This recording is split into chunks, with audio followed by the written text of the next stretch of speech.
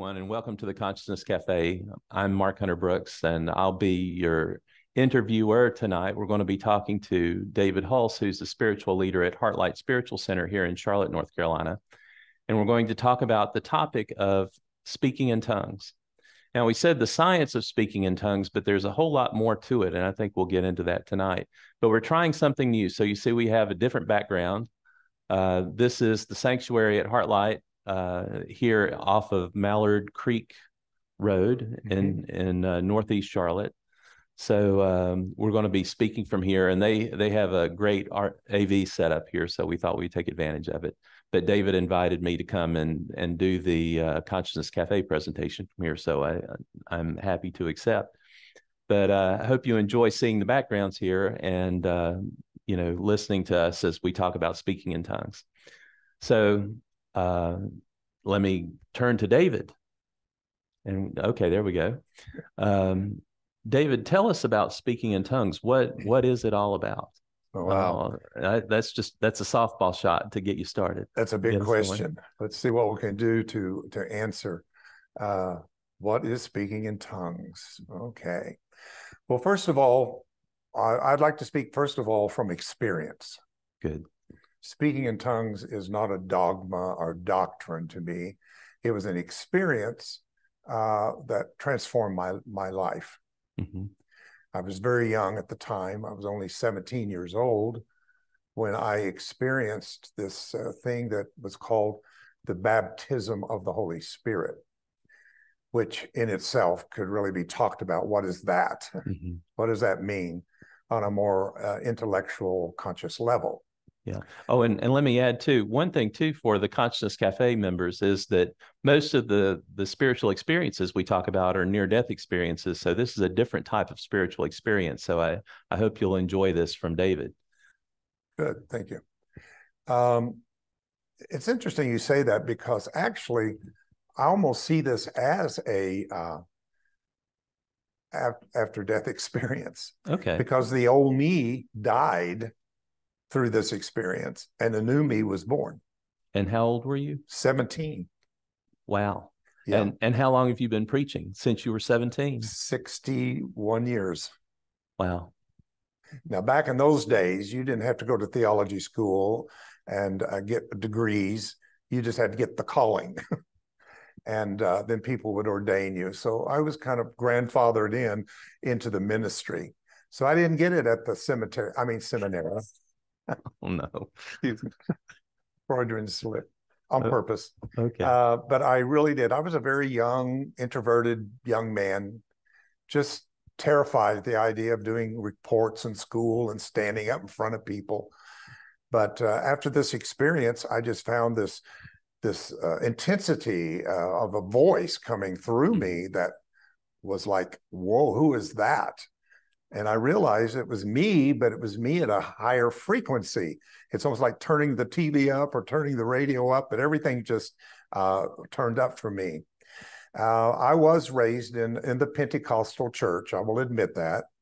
Fortunately, I made it out of there uh, very early because of self study, research, and uh, my obedience to the leadership of what I call the Spirit kind of led me on my own path to, to study uh, what what this was all about, because it was a mystical experience, no doubt about it, uh, that happened uh, to me. So from that, I began, I guess, a ministry. I started going around talking to young people's groups, and different churches started asking me to come, and that has continued on to this day uh, that we're in right now. So speaking in tongues is called glossolalia in the Greek. It's a Greek word that means the sound of language, or language is a sound. So when we say language, we think of what I call terrestrial language, hmm. like English, or we speak German, or we speak Swedish, or, or we speak earthly languages, Sanskrit, Aramaic. But this is heavenly language, heavenly language. So I'd like to start out actually, uh, if I could, by just uh, I'm not going to get into a lot of Bible, but I just wanted to read from First Corinthians 14 for, for our listeners that tells us, uh, and this is the writings of Paul hmm. as we read it in English. Uh, He said, uh, and, and it tells us, I would like everyone of you to speak in tongues, but also I would rather you prophesy. So prophesying means ministry, teaching, mm-hmm. Uh, things that we do in English that has a spiritual principle to it. But he also uh, talks about how that he speaks in tongues. And I want to give this one scripture to you. For anyone who speaks in tongues does not speak to people, but to God. Indeed, no one understands them. Mm. They utter the mysteries of the Spirit. Mm. Now, that is exciting to me that people who allow the language of spirit to flow through them are speaking what is a mystery to the human brain. Mm. So the brain doesn't understand it because it hadn't been made conscious. Mm. That's why I love your name here, Conscious Cafe, because it's all about what can we from the spirit realm make conscious. Right. And expand and evolve our, our consciousness. So um, the thing that I want to introduce tonight that I'm excited about is to take this out of a religious context as a doctrine or, or dogma into what I believe is a new therapy for people individually to use on themselves. Mm, on yourself. On yourself. You don't have to go to a practitioner. This is for you. And that's, if you really read Paul's writings, he's telling the church, uh, which Pentecostals don't do, they speak in tongues all over the place. They get all emotional and they get caught up and speak in these tongues, uh, whether it's spirit or not, they learn to do it. Uh, and we're not talking about that kind of emotional thing, but we're talking about really spirit coming through mm-hmm. and using our sound, our voice in some way to speak things that are yet a mystery again to to the to the to the mind as, as it's learned intellectually. So, um, but he says when you do uh, allow this speaking in tongues to happen, it is for your to edify yourself. Mm. So this is a way in which you can strengthen your faith. You can strengthen your spirit by doing this. So it's a private thing. It's a personal thing. Hmm. Would you say it's kind of like meditation? Is could it be something similar uh, to meditation it, in terms of a spiritual practice? Well, I think we can put it into that category. Okay. But I think it's a different experience. I think it's a step further mm. than meditation. But here's the thing: meditation could be a prerequisite. Uh, a prerequisite. Pre- prerequisite. Yes, I can't say it. I need to speak in tongues, right? Yeah. Uh, to speaking in tongues because it silences the mind. Mm. So if you can settle down the human mind, calm it down, then you create space in you so that the spirit can speak. Wow. Now, another scripture that I think is so powerful is uh, going into speaking in tongues is a way to intercede for the need of other people. Mm-hmm.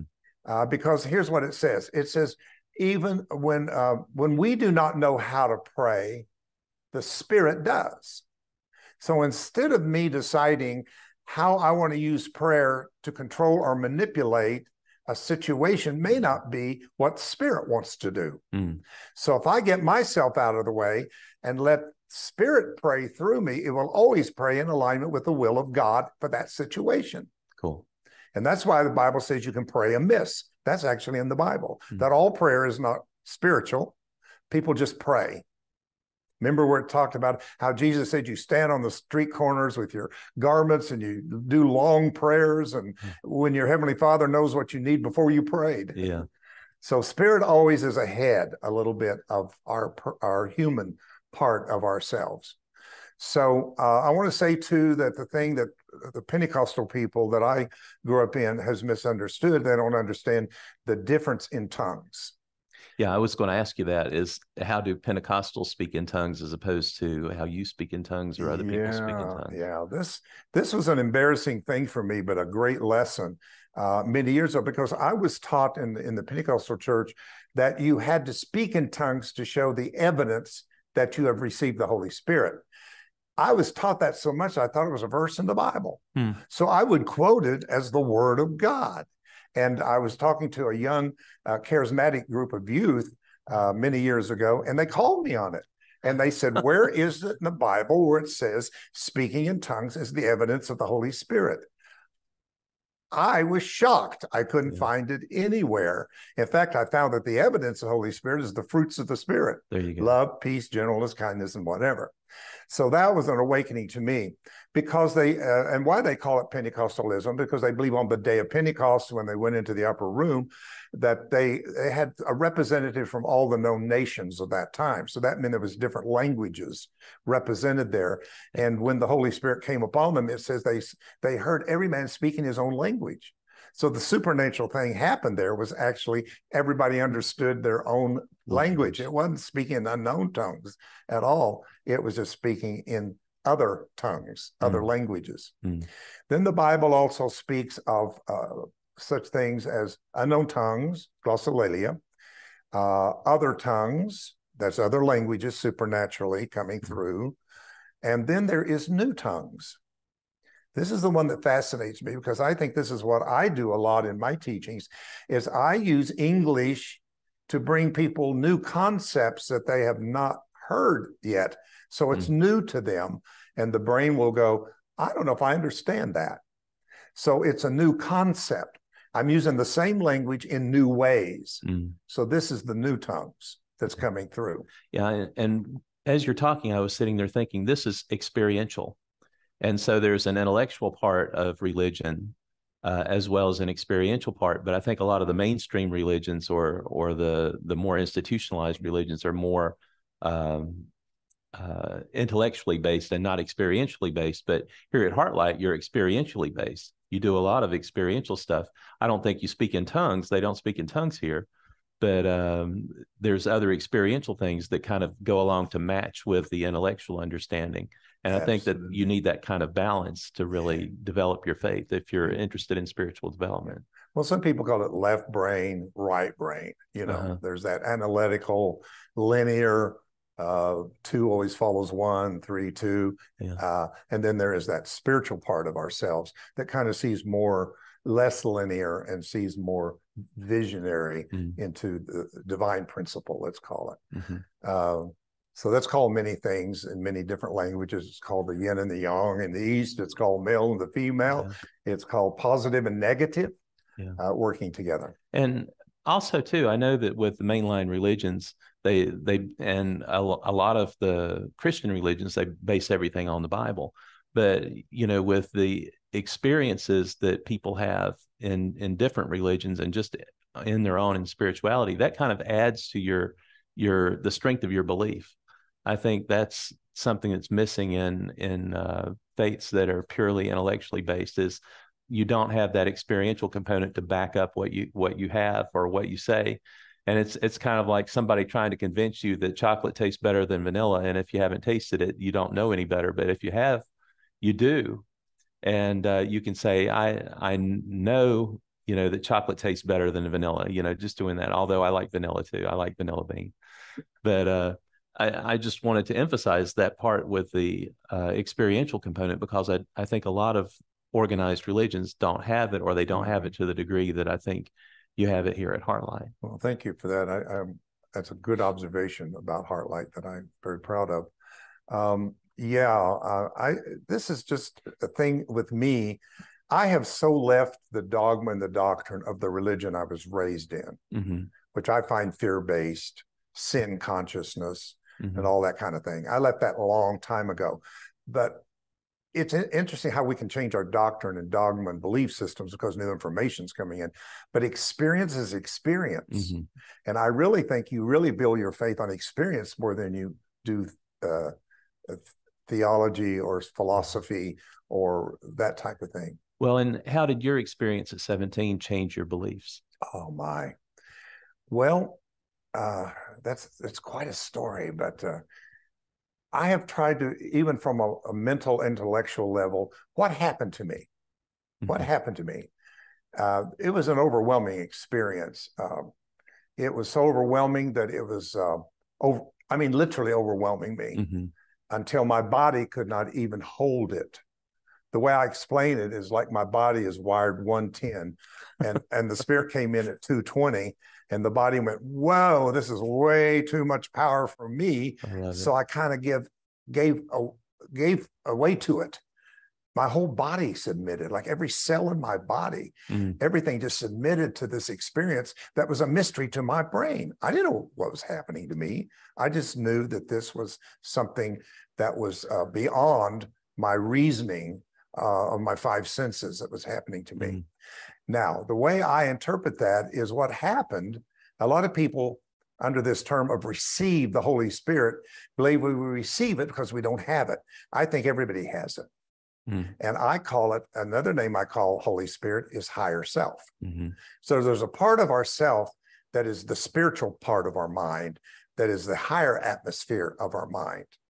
But we live in the carnal or Mhm. human part of our mind most of the time, right? Yeah. Well, what happened to me is that higher mind penetrated into my human mind. Mhm. Now, remember, I was a, I came out of the womb as a seeker. I wanted to know the why. I wanted to understand, and I was born in a very religious family. Uh, my my own uh, uncles and aunts and whatever were pastors and ministers of this church, and I thought if I'm going to give my life to this, I need to know what I'm giving my life to. Right. So I became a seeker very early to find out exactly what what this was all about. Now, what happened to you at 17 was totally different from what somebody in the Pentecostal church or or your parents would have said this is something you need to go through or something you need to do or experience. This was something totally different, totally out of left field. Is that right? That's that's a, a great uh, observation. But because a lot of people would think it, it's part of religion, but you're saying it's totally different. This was totally experiential, totally spiritual. Yes, this actually happened outside of my church. Mm, Even though my church was teaching this kind of thing, it didn't happen there. Mhm. It happened outside of my church in a very unique situation that I was in that was nothing to do with the church at all. Mm. It was just a group of people who were coming together and doing prayer and intercession and just kind of waiting to see what the Spirit was going to do to show up back in the early 60s. Mm. And there was a real movement at that time. So I didn't get it the Pentecostal style, which is pretty bizarre. Uh, you have people uh, in each year, one is saying let go, the other saying hold on, and all kinds of stuff's going on, and they're working you up to this kind of thing until uh, to get out of there alive. You spoke in tongues just to get out of there. you just might have made it up. So I'm so glad that my experience is so isolated from all of that. It was such a personal, intimate experience away Mhm. from the religion and the church. So you also had some visualizations as part of this too. Could could you explain that or talk about that? Well, yeah. Or if you don't want to talk about it, that's fine as well. I just wanted to No, I say love to talk about it, but from, uh, from a spiritual experience perspective and with the near death experiences, um, people talk about the after effects, you know, which you were talking about. This changed you completely into becoming a preacher for 61 years. But uh, also the experiences are more than than just the the physical, the en- energetic. You know, a, a lot of people have visualizations and uh, images and thoughts and impressions that come upon them. And I just wondered if you could talk about that too, just relate uh, the I'm glad to commonality of it. Yeah, I'm glad to touch on that. I, I why I'm reluctant sometimes is I don't want to come off like I'm a person that has visions every day and I hear Yeah. voices every day, but I did have an experience in that particular experience. Mhm. Uh, one of the main ones I'd like to talk about is I was shown a heart, uh, literally a heart shape, and the heart was very, very dark. Mhm. It was like I was looking into a, uh, something that had no end to it, a, a, deep pit of Mhm. some kind. And all of a sudden, in that heart, I began to understand that this heart was my old human heart, where a lot of human uh, issues were, like things like jealousy, Mhm. envy, uh, lust of the flesh, uh, Anger. Anger, big one, fear, all those kind of things were in there. And all of a sudden, in the very center of that, uh, Mark, one of the most illuminating little tiny white hearts showed up. It was so tiny, Mhm. but it just pulsated with light. It was made of light, I guess. And uh, something said to me, This is me. Uh, who's me? Yeah. I believe it was the Christ seed. Mhm. The, the God seed was planted into my human consciousness. Mhm. But here's the thing about that that set me on a trajectory for my minister. It said, feed me.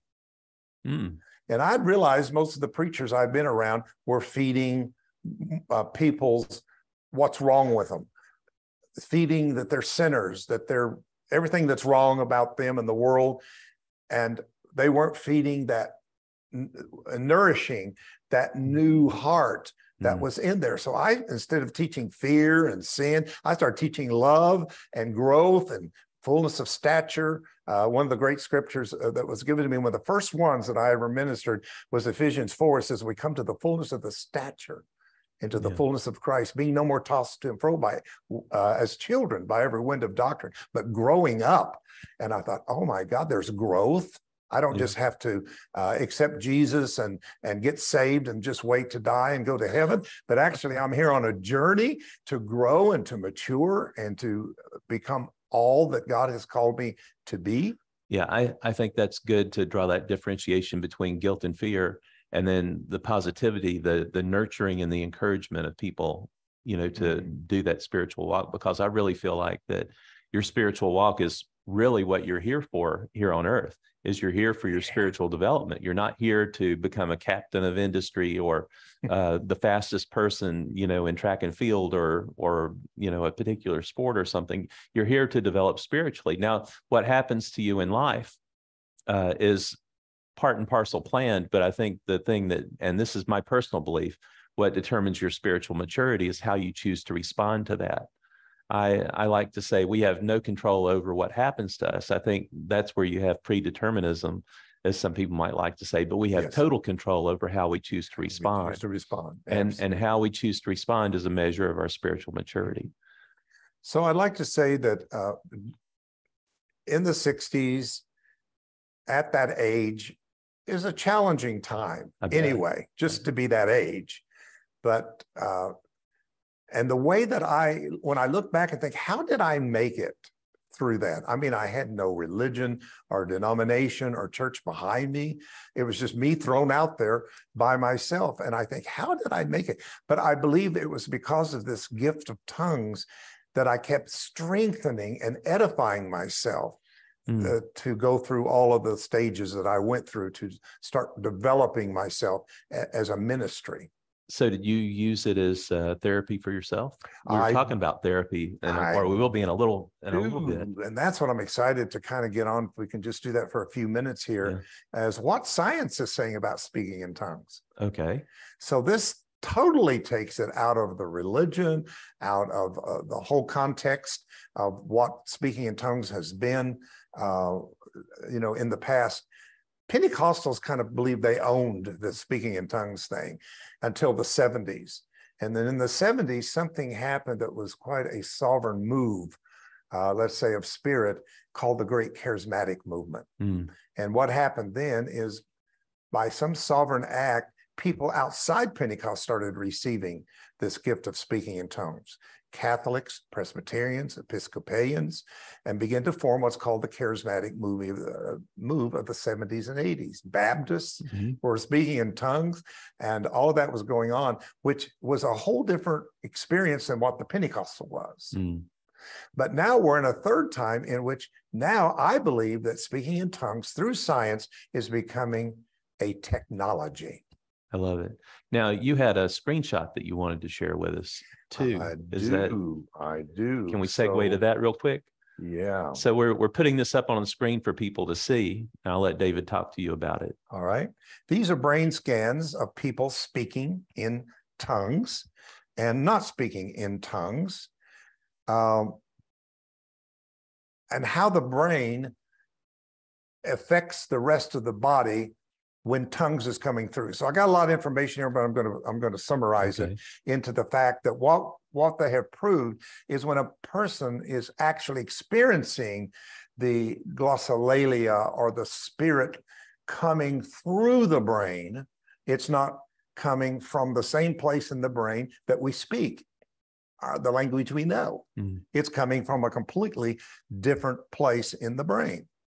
The New York Times has covered a recently published brain scanning study of five individuals speaking in tongues, an experience known as glossolalia, where someone appears to be speaking in an incomprehensible language over which they have no control. Mm. So it's it's coming through the brain and not coming from the brain. Mm. So if you look at these uh, pictures uh, and the scans, you will see that what it is affecting is uh, very much in the right and left cerebral hem- uh, hemispheres of the brain.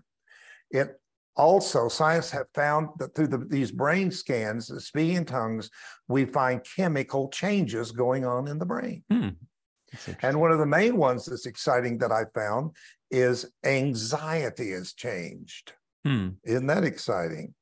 What all these studies have repeatedly found is that, contrary to popular belief, for those who believe speaking tongues is not experiencing uh, uh, something real, but a form of psychosis, uh, that this is not true.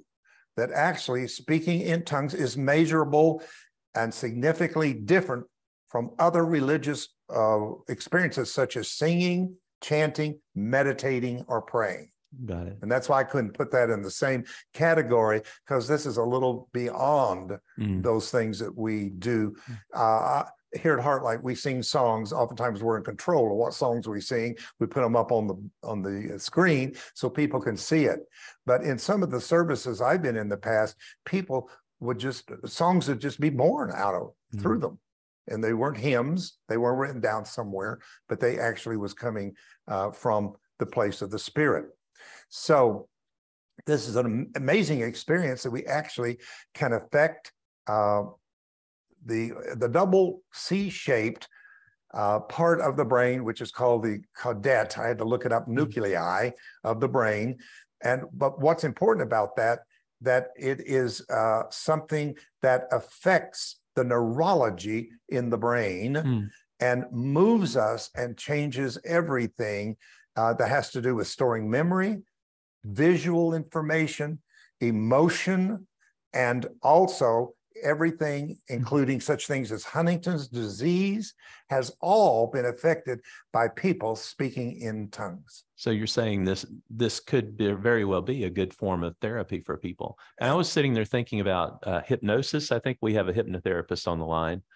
Uh, that that's one way to train your brain or whatever. But speaking in tongues could be another way or another different it way. Could be. I'm not saying it's the only mm. one way, right? But it is certainly a way that for me, uh, because I get, I have times in what I do here where I get um, bogged down, mm-hmm. you know, with responsibilities and trying to come up with messages every Sunday and teachings every Wednesday and that, podcasts that I do. I do a lot of things. That is kind of, and sometimes I get overwhelmed. Yeah. And sometimes if I just get still and just do the tongues inside of myself, mm. I start refreshing myself and the cortisol level starts coming down. Mm. That's what they prove that you can change your cortisol level.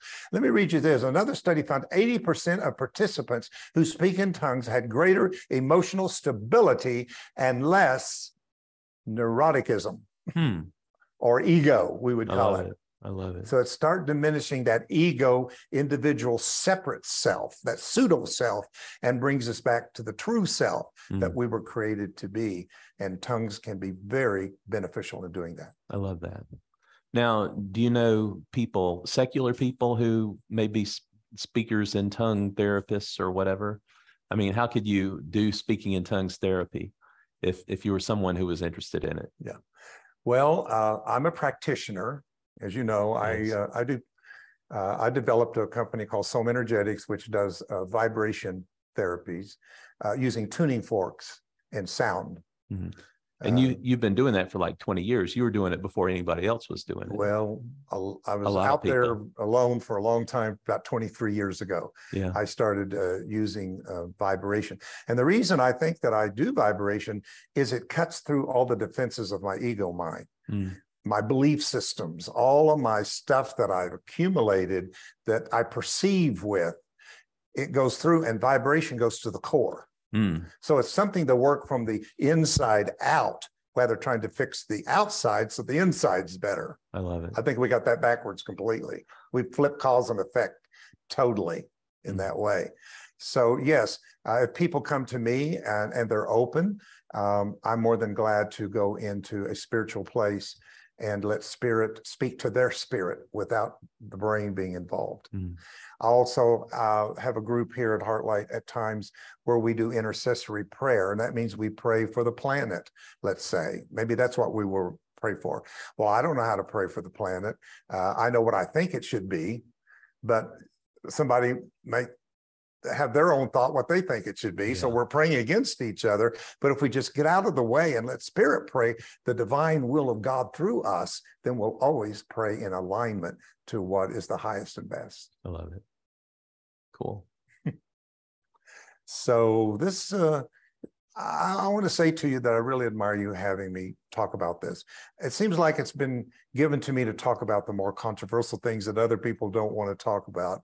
And that's kind of my specialty is to take on these things that people just kind of uh, push, you know, under the rug somewhere and don't want to deal with it. But uh, I think there's, we've entered such a wonderful place in consciousness. We're ready to receive much higher mm. understanding of what it was five years ago, 10 years ago, 20 years ago. Yeah, no, I, I think a lot of people are seeing a change getting ready to happen. Mm-hmm. Uh, there, there may be people who have said over the past generations, you know, uh, even in the 1800s, early 1900s, that there there was a time for change coming. I know with the New Thought movement back in the late 1800s and early 1900s with Theosophy and uh, spiritual, or was it uh, Christian Science and uh, all these other things that they were thinking there was a, a, a, new change coming, but there's a, a lot of people talking about another change mm-hmm. coming this time as well. Now, people's going to always ask me, how do I, if I'm interested at all, how do I receive this experience? The first thing you have to do, you have to open the womb of your mind. I call it the womb of your mind. Okay. In other words, willingness. I am willingness to receive an experience I may not understand. I'm uh, an experience that I may not be able to totally control. I'm giving my control to God and I'm trusting through faith that God through me will bring forth an experience that will edify my faith. Once you open it up, then you can receive because it won't come where it is not open to receive. Mm. I have a line that says, uh, The nature of the Holy Spirit is I thought you just might want to know. So not everybody wants to do that. But if you're out there and you want to do that, I say in the shower, when you're alone somewhere, riding in the car, just open your mouth and just let sounds just start coming out. Mm-hmm. And it'll challenge your brain because the brain says, I don't know what's going on here. I'm not in control of this. But I think that anybody can do that uh, on themselves. One more thing, if we could just do this, that I think so interesting, because I've been fascinated and studied DNA for a lot of years. Mm-hmm. I've done DNA activation work and I do tuning forks and in whatever. But I'd like to read something to you that called the language of junk DNA we all know that we only use about 30% of our genetic material. 97% was considered junk DNA, which was left over, they said, from evolution. It means nothing. Well, that's all changed now. And they're saying that a lot of answers to uh, getting rid of diseases and whatever is in that junk DNA. But what is so interesting that it says, and I quote, uh, 90% of, of the DNA is junk and it has been known to have no use or function, but as, a, uh, but as usually uh, an inconvenience. The fact that 97% of DNA is junk uh, is important for us to understand through the collaboration between molecular biologists, mm-hmm. cryptanalysts, which are people who break secret codes, ooh, yeah. linguists, people who study language, and physicists here it is, has found strange hints of a hidden language in the so called junk DNA. I love it. I love it. so I know people will ask you about that in the Q&A. Good. Bring it so, on. And and before we go to Q&A, I know we're talking about speaking in tongues, but we haven't asked you to speak in tongues. So uh, just to let people know how it is, if it's okay. Uh, I don't you can't, you, have, you can't turn it on. You can't turn it on and off. No. I have to get into a state of gratitude uh, is a wonderful entrance to it, uh, a state of praise. Uh, oftentimes I need uh, the assistance of vibration. So I might use, we got sound bowls around right. here, as you see, right. we use bowls here. Uh, there's, there's many instruments around here that that does sound, but I could use a tuning fork. Mm-hmm. You know, we have specific tuning forks like the Ohm tuner uh, that helps me get there.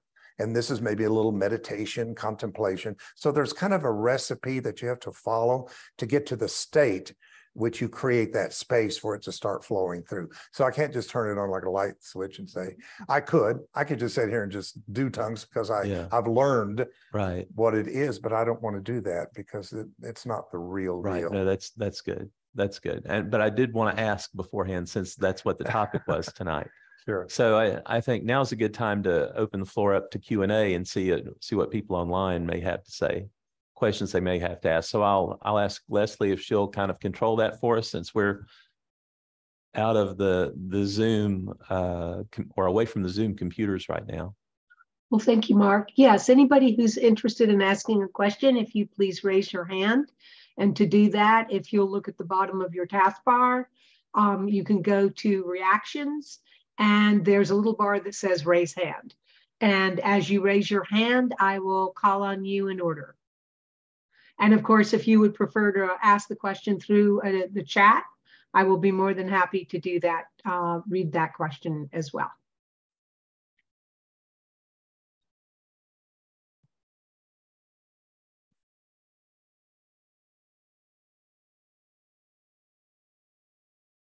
Well, while we're waiting for people to gather their questions, uh, I wanted to make an observation. I'm a shamanic practitioner. And uh, within that realm, we talk about soul songs, and those are the songs that spirit uh, gives you that uh, emanates power. So I thought it was very interesting that I'm seeing some similar or hearing some similar similarities. Uh, Jim, I believe you have your hand raised. I don't think I heard this comment. Um, when you are speaking in tongues, if somebody's listening to you, they don't understand what you're saying. But as the speaker, do you understand what you're saying? I do not. My brain would be no different than any other brains that were available there. It's just not something the brain understands. Uh, it, it's beyond our understanding as we know understanding intellectually. Uh, but really, uh, what I tried to say in the beginning is it's best not to speak in tongues publicly around other people necessarily. The only exception that I see in that is when I do intercessory prayer with a group and uh, then the tongues will come forth and we're praying for something specifically uh, like that. But no, I don't know what I'm saying. But uh, the, the, the teaching is this, that if you're in a situation like in a community or a group or congregation and tongues comes forward, it's because you know there's an, someone with the gift of interpretation. So the real deal is not to speak in tongues because nobody understands what you're talking about anyway. But when you speak in tongues, it could be a message from spirit to the, the, the group. And there are those uh, that have the gift of interpretation of tongues. That's one of the gifts in the Bible Mhm. is interpretation of tongues. So, for instance, I've been in services where tongues would come forth and it would be followed by somebody in another part of the room and say, and, and yea, God would say unto thee. We knew that a message was coming through that we could understand, and that would that works together fine. But uh, Paul is very clear to tell us that uh, it doesn't do much good just to come together and start speaking in tongues. It is again an individual thing for edifying you, Mm. your faith. So it's it's a good self technology to help you to, as I said, bring down cortisol, take, bring down anxiety, and bring down all of the things of our hu- human self that gets a little strong sometimes and needs to be balanced out. Uh, Bill, I believe you have your hand raised.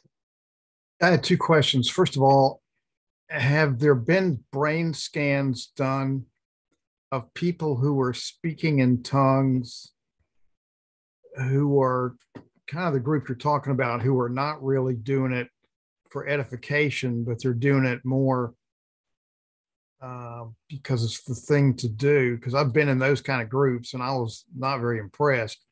Um, but I just wanted to know what kind of what kind of what what the brain's doing during that. And secondly um where is a good place to get more information about how to learn how to become more familiar with this? And because i've read about the um the importance of frequencies in getting your uh kind of getting you in line with being open spiritually, uh, you know, like with your tuning forks and stuff. Um, uh, have you got stuff we can read or look at, or listen to, or whatever to to learn more about this stuff? Well, I got a whole pile right here in front of me. Uh, but here's the thing, if you will just uh, type in uh, glossolalia or speaking in tongues, science of, you will find. There's a wonderful uh, uh, uh, video from ABC that did a study on speaking in tongues. Quite, Mhm. it was very thorough research, and it showed people just speaking in tongues and those who were really uh, coming through a different part of the brain. And that's how they can tell in the scan. Is it coming from the brain? Then somebody's just making it up and making noises. But if it's coming through the brain from a different part of the brain where language Mhm. is not registered, they had to come up with, yes, something is happening here of a more spiritual or mystical uh, uh, level. Yeah. And I, I think the, uh, the citation for that report that was done that David was talking about, that was done by Dr. Andrew Newberg at the University of Pennsylvania Medical Center. He was a neurologist. So uh, if you look for Andrew Newberg, you might find some other things as well. Yes. So there's- thank you. Uh, Daniel asks, uh, your description of being plugged into a higher voltage sounds a lot like a Kundalini experience. Can you expect, can you comment, please? uh, Like your age 17 experience may have been a Kundalini experience. Oh, definitely. I, I've never heard of such a thing at 17 years old, but yes, it did do something to open up. How do I say this? Uh, I believe we have energy centers. A lot of people call them chakras, but they're just uh, data banks. They're places where we bank our, our human story. Uh, and I think what happened to me that put me a little further down the path at 17 was the speaking in tongues and moving it through my energy centers up the spine, which is what Kundalini does, begin to open those channels and made me able to start bringing in information. Uh, the thing that I began to be known for was a revelation minister. I got revelation. I'd read the Bible, but I'd get a revelation. It wasn't what the Bible said literally, but it was the revelation behind it. And I think the fact that I could see it from these different dimensions of consciousness in myself was because of the speaking in tongues that had opened up all of these channels Mm. in me that was now able to uh, to filter in information from a much higher uh, level. So uh, that's a very good question. Uh, thank you. So Joan asks, are you familiar with light language? Might speaking in tongues uh, be the same or similar? Yes, that's an excellent question. There, there is something out there called light language that is a specific uh, teaching that I'm not so familiar with, but I will say that what I'm talking about is truly light language because spirit is light and it is uh, light is data or what I call photon data or information. And so therefore, I do think that it is spirit uh, for enlightenment. So that's how I see the light as enlightenment that is coming through. So yes, I think it's the language of angels, if you want to go there. I think it's the language that angels speak to us. Uh, doesn't have to come down and be caught in the concept of our human belief systems. Uh, we get a more pure reading from uh, guides, angels, and maybe people from the other side who says that they don't communicate with us uh, in a language that is beyond the language that they learned while they was in the body, but they're actually coming through us in a spiritual uh, language of, of, of, of light. So uh, I say yes. I, I like the term light language, angel language, spirit language, heavenly language, God language. There you go. So, um, Bill, in just a moment, I'll get to you. Gina uh, uh, states, hello, David. She's asking, so uh, are you saying when we receive messages from our higher self, could it be similar to talking in tongues as a way of giving a person a message? Yes, I think that's very well put. Uh, I do believe that my higher self uh, is transcendent of everything that the brain holds in the sense of five, the five senses. So everything that I have brought in as a as a perception uh, through belief systems and things I've studied and all of that intellectual. I think above that is a part of my uh, consciousness, a higher atmosphere that can communicate with me much differently than that lower part of my. When I say lower, I'm talking about frequency. I'm talking about the lower frequency, the higher frequency. So the higher the frequency, the language comes through, to the to a match frequency in your mind. When spirit matches the mind then you can receive uh, in a more pure form rather than bringing it down and saying, okay, do I believe in it? If I believe in it, then I perceive the belief as this. So it loses in the interpretation. But when it's pure spirit to spirit, nothing is lost in the translation. And I think this is what's happening right now. Why there's so many people getting these aha moments or uh, these, uh, what they call um, epiphanies. Epiphany is spirit, higher self penetrating the human mind giving it to the pineal gland. The pineal gland changes it to a chemical, and the brain gets it, and we go, aha, I get it now. Hmm. So uh, some wonderful things are happening to us who are understanding this from a multidimensional state of consciousness rather than just a linear uh, consciousness. Yeah.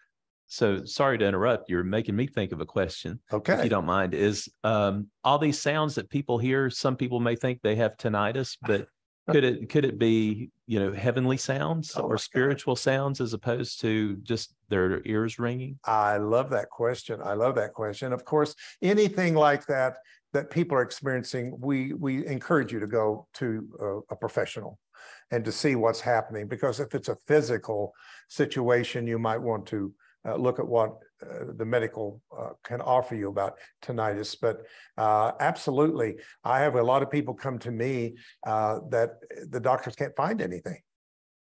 There's no real diagnosis for it. So I'm very suspicious at that point is new frequencies coming in from higher dimension and into our third dimensional anatomy. I call it five dimensional, mm-hmm. but call it what you want to, but it's coming in uh, to us at a much higher frequency. And of course, the first thing that you're going to receive is just a sound. Also, when you stop, if I stopped right now, we got really quiet, we would hear a high pitch. Everybody does. And that's your nervous system. That's the sound of the nervous system. So it's the nervous system that's being retuned right now from these old 3D human bodies into a more resurrected human body from a different higher frequency. And that's where the tuning forks and things that are just vibration so help us to do. So, yes, I think in many cases that people are having a more spiritual experience with these different kind of sounds and frequencies that are coming through. Again, the brain just doesn't understand it. All it hears is just the sound of it retuning the nervous system. Mm. So Gina would like to say that she wants to thank you for who you are and what you do, and she loves your classes. And uh, thank you, Gina, for those comments. Bill, if you'd like to ask your question. Yeah, this I just want to restate the first question, but since we've been discussing it, because I almost forgot I asked it. Um, the um, I want to add to it. So first, um, have you seen any brain scans from of people who are, I'll say the Pentecostalists, So use an example, who are speaking in tongues but not really doing it from as the highest, I guess, motives possible. And to add to that, let's say you get a different kind of scan than you did from the people who are genuinely tapping into um, a higher source.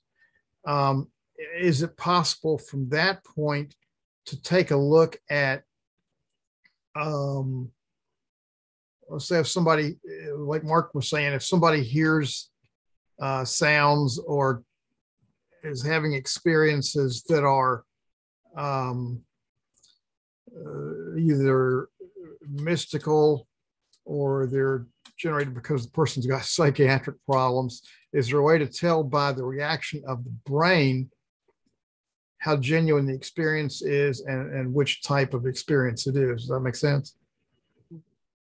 Uh, Yeah, I'm not sure I can give you a total, uh, I mean, you understand the question though? You, you're wanting. Uh, again, I'll go back to the, what the scans have shown is the difference who is just kind of emotionally making it up and Yeah. just doing it themselves. It'll show it's coming from a different part of the brain, uh, rather than the real experience of, of, of the spirit language, angel language coming through is from a completely different set. Uh, I think that you can find most of this online. If you just type it in, I think there's just a lot of research that's available right now uh, on this subject that would, could uh, show you the very difference between the two experiences. And of course, to us, uh, and I say us as human beings and the human brain, it, it just appears to be mystical. It's just mystical to us. Mhm. It's really, uh, it's really helping us to uh, undo the mystery in us by bringing it forward into a state of consciousness. So uh, I'm not sure that's the exact answer you want, but uh, yes, I think uh, do your research. If you're interested in this subject, see what's out there, see what's available uh, to you, and I think you'll be surprised how much is out there on this uh, subject. Thank you. Uh, Luna asks, how do we know if what is coming through while speaking is our true spirit or higher self and not a negative entity? Okay, well, that is called developing your discernment. I have learned a difference in my belief system and my knowing system. There's some things that's totally based on a belief. There's other things that is almost an innate knowing. And when this comes through you, you will know something is happening that is beyond the, the control of your brain. You'll just know it. Uh, and that's where the experience comes in. And I don't know how to define the experience. Experience is just an experience. But for me, I experienced that something definitely that didn't originate in me, the human part, was coming through the human part. And I just had this knowing that my life was going to change. Now, I don't even know what that meant in my in myself. I didn't even know what I believed about what was happening to me. I just knew something life changing was happening to me. So I think my answer is uh, it's a knowing in the core, in the heart, uh, rather than just the head. Uh, that something is really happening. You you feel like something's coming through you is very different from something that's coming from you. Mhm. So this is where the gift of discernment comes in, and intuition and guidance comes in. So, David, are, would you recommend a course if I am wanting to improve my uh, discernment abilities, my intuitive ability abilities? Are there exercises I might contemplate? I think that's just a great idea. I think we should develop some courses and some classes on this subject that we could offer to people to assist them uh, toward having uh, this uh, uh, uh, this availability to this dimension and level in themselves. I think it'll change and transform our lives. You know, the scripture, uh, one of my favorite verses is we are transformed by the renewing of our mind. It's it's the mind that's going to do this thing. Spirit, God, whatever you want to call it, uses the mind. Now, to me, the mind and the brain are kind of two different things. They're not the same thing. The mind is a part of the heart and the soul that's different from the brain. So uh, when we let that mind be in us, uh, that was in Christ Jesus, Philippians 2 4. I like that. Let the same mind be in you as in Christ Jesus, who th- thought it not robbery to be equal to God. One of my very favorite verses in all the Bible tells us to let that mind, that means that mind is in us somewhere. We just have to allow it uh, to come forth.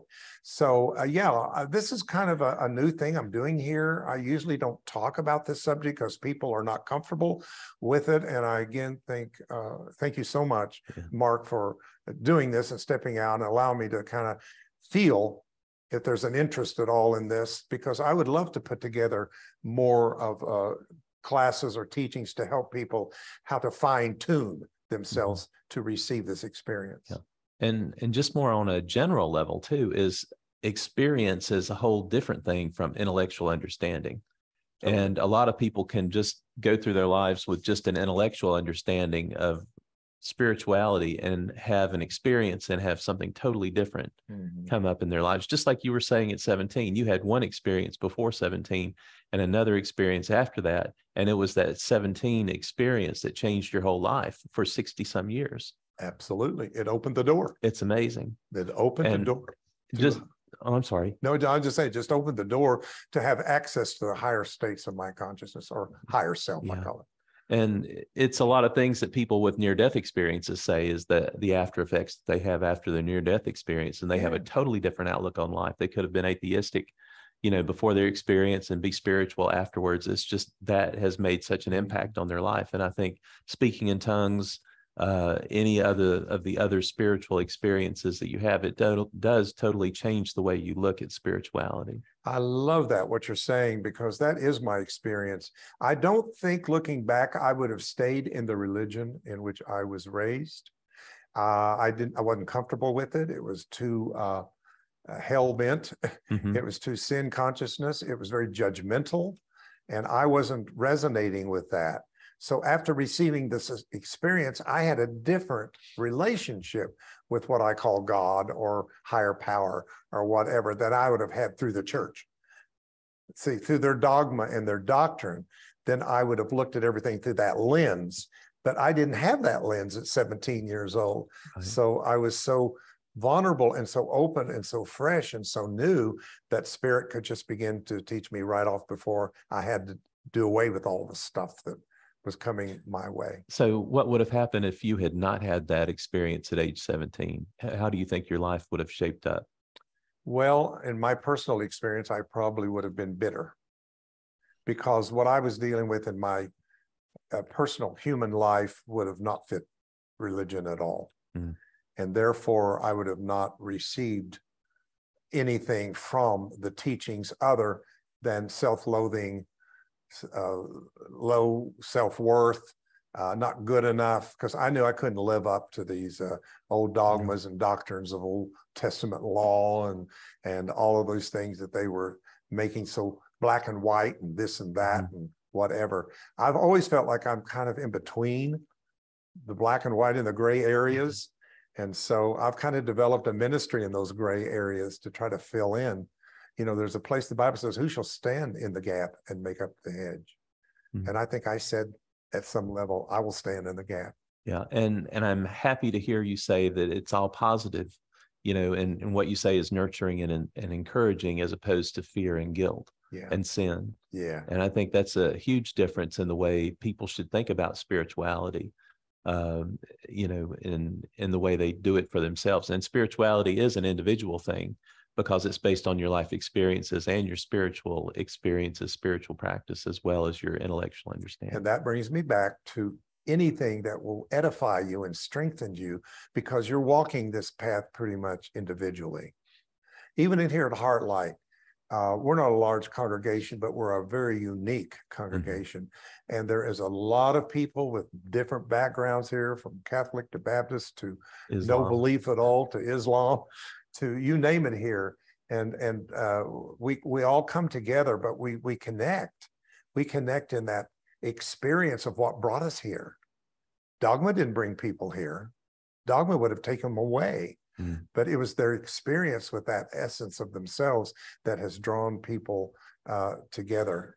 And I really like the diversity uh, that we represent. And and if you don't mind if I I ask you one other thing too is how to join Heartlight. You just fill out an application. You don't have to agree to anything. Is that right? And I thought that was that was different from a lot of other religious institutions. Yeah, we have no catechisms. We have no classes you have to take to prove yourself. You don't have to sign something saying, uh, I believe the way Heartlight believes, but we recognize that you are an individual, individualized expression of the one spirit God. And therefore, God is experiencing the uniqueness. If you were born Baptist, then that's the experience God wanted. If you were Catholic, that's the one God wanted. Pentecostal, that's the one God wanted. Even if you're atheist, that's the one God wanted because this we are God experiencing itself in the human story. And we have to accept that diversity and the uniqueness of how spirit shows up in in our in our stories. So David, Mark, thank you so very much. We've got a couple of questions Bill, would you like to ask yours? Yeah, again, I have two questions. Uh, so first of all, uh, if you decide to develop materials on how to um, reach this higher self more effectively, would you like lists uh, people who are interested in that? Um, the other alternative is just to notify Consciousness Cafe if you do it, and we can get back in touch with you there. And the second question, I'm going to play devil's advocate for a second. Um, and so let's say I'm coming from the old, uh, real conservative Christian um, perspective. And because you're a, a completely sinful old guy um, who, who really can't be right, have there ever been have there ever been any times when you you the intuitive part of you felt you were right when you realized when you learned later that you were not? In other words is is the discernment thing is it completely infallible or do you have to watch out for it? Well yes i have had times uh, i'm always open for correction uh, i correct myself all the time because as new information comes to me and resonates then it kind of changes what i thought it was so i see consciousness as a progressive evolutionary journey so yes, that has happened. But you got to remember, I've been doing this for 60 over 60 years. So at some level, I guess I've developed a part of myself that I, I've learned to trust. I turn I, I trust my discernment. I trust my gut knowing uh, system uh, because I've spent my life. I've never had a secular job. I've done this all my life, full time, and this is my life where other people go to jobs and work i i research and read and pray and meditate and study so i've had i've had the luxury of having that life uh, so young from that so uh, that's what i would tell you uh, basically uh, about that but yes, okay. I think we always should check ourselves. I think we should never get into a place where we feel absolute, that this is the absolute uh, way or the absolute uh, truth, I think that we have to be progressive. I think we have to take the responsibility to step back and observe ourselves. I'm a great believer in the observer, the observer of our of ourself and our thoughts and our thinking and our belief systems. Yeah. And, uh, I think that's a, a, way to cultivate it and make this almost like an art, an art of discernment. Getting back to the first question, if you if you start a blog or a newsletter or any kind of process to start developing, um, eventually developing materials to teach this. Uh, will you keep us posted? Absolutely, I will. Be more than glad to. And and you have a podcast too. I do have a podcast every week called From Sin to Zen. And this podcast has been developed to help people who's kind of outgrowing their religious dogma, but want to remain spiritual. And so I've taken my journey and put it into this podcast to kind of help people as to what I went through at that point, uh, where I, when I first discovered that uh, sin is not original, uh, blessing is not sin, that that's a doctrine. Uh, you know, it kind of threw me so I had to go through a lot of process of restudying, uh, being willing to let go of old beliefs. So uh, that that is one podcast. Another podcast I do with another gentleman here at Heartlight, who is a uh, a very advanced music uh, person, and we do on sound vibration, and we talk about the different codes of frequencies that may open up, such as the keys to the kingdom, or David's keys that he played to Solomon to drive the the bad spirits away. So uh, we we do try to uh, bring all of that, and those are available uh, on uh, the Heartlight. Uh, Heartlight charlotte.org, you can get a lot of things that we download and record here at Heartlight. Thank you, David. Uh, Paulina, I believe you have a question.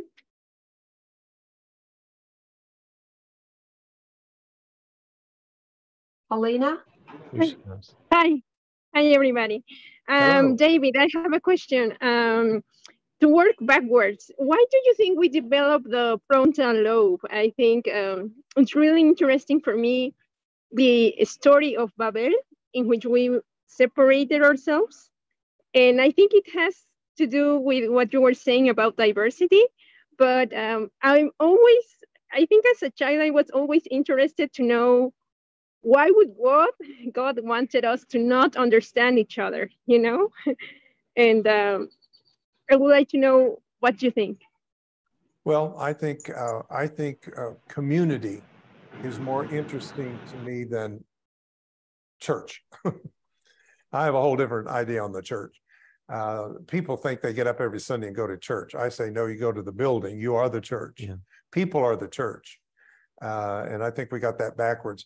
But I think why I'm saying that to you is I think the fact of a real community of diversity coming together that we need to share our stories, our backgrounds, our culture, our experiences uh, in culture, uh, that we can find each other. You know, I, I don't buy into this idea that uh, humanly we're all one. We're not. We're different. And I think embracing the difference is the oneness that we're all looking for instead of trying to change everybody to look like us and think like us and look like us.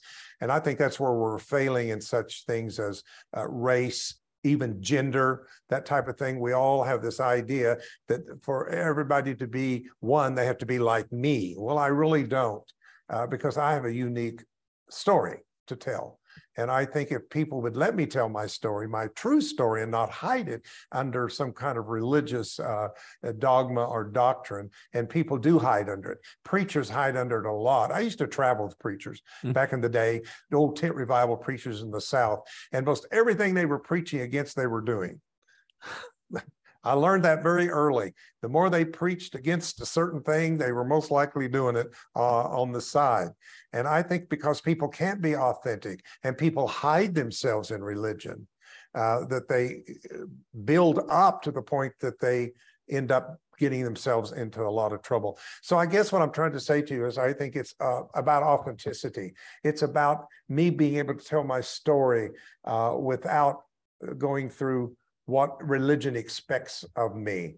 Uh, I went through that in the early part of my ministry because I wanted to be what what is the role of the preacher? What is a preacher going to look like? What's a preacher going to sound like? What's a preacher going to be? You know, and and I did that for a long time, and I was miserable until I finally started finding communities such as Heartlight and other uh, more metaphysical communities that said, We're not judging you. Be who you are and let me learn from your story. It's not my story, but it's your story. And it's from you I can learn about a part of, of humanity that I'm not experiencing. So I hope in some way that helps you with. Uh, with I didn't hear all the question, uh, but that's what I wanted to share with you. Paulina, did you get, are you good? Okay. Um, Daniel uh, comments, I love what you're saying about spirituality without dogma or doctrine. Asks, have you ever studied Swedenborg? Can you comment on his information? I have touched into Swedenborg uh, through the years, uh, read some of his things, and so appreciate. Uh, he was a true one of the pioneers, I think, into more deeper uh, spiritual teachings at a time that it probably wasn't very uh, popular. I think they still have what they call the uh, the, the church, or uh, there's still groups of people mm-hmm. that meet and, and uh, study Swedenborg's uh, teachings. yes, very interesting, deeper principles for that time. Uh, I'd like to draw the group's attention to two links that I put into the chat. One is to the website for Heartlight, and the other is the podcast link to um, uh, Sin to Zen. Okay. If anybody is interested. All right. So you can get uh, to Heartlight. Uh, we do sun- we do Sunday morning services here. Uh, we look like a church on Sunday morning a little bit, but I told them this Sunday I think that we're we're uh, a mothership disguised as a church uh, ready to take people to a new frequency.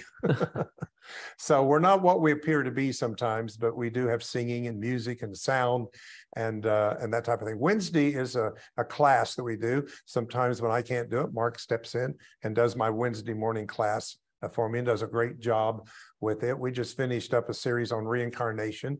What is it? Uh, do we believe in it? How does it affect our life? And that is finishing up this Wednesday. So you can do that at heartlightcharlotte.org.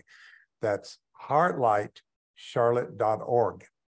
Now for the podcast. Oh, she's got them. I thought she asked me for them. No, no, no, I've got them. Yes, I put them Oh, in. good. Well, thank you. I'm so glad that you do. And uh, please uh, tune in on uh, some of these and tell some other people about it. Would be great and share it. And if I wanted to, I can, uh, since I'm not in Charlotte, I could uh, share your, the meeting via Zoom. Yes, Okay, sure. Live, live stream on the website Sundays and Wednesdays. Can share it. No, I mean, you can dial into the website on Sundays and Wednesdays at 11 o'clock. and get a No, live you stream? can just, you can just tune in to the classes, but we don't uh, have a way of communicating Okay. with people yet. Maybe we should look into that. Mark, are those, uh, Mark, are the, uh, classes archived so you can listen to the past classes? Absolutely. There's a lot of stuff on heartlight.org.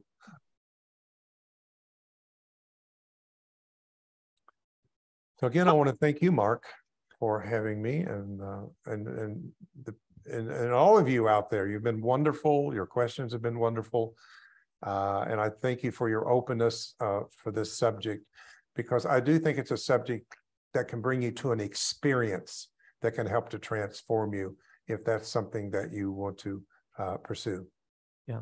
And I want to thank everyone for dialing in tonight on the Consciousness Cafe and listening to this presentation with David. And I hope you all have a, an interesting evening and an interesting week. I hope this has impacted your life and, and made you think differently about different things. So with that, I'd like to uh, say thank you and take care and have a good day. Thank you.